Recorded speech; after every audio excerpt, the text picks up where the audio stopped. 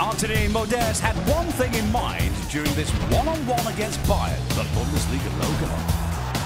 Timed his run perfectly and then improvised with the finish excellently.